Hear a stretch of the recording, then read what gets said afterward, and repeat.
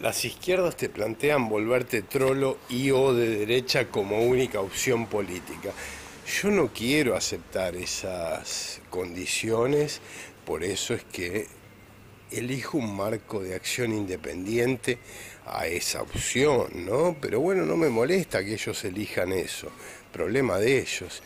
Después la historia nos juzgará a todos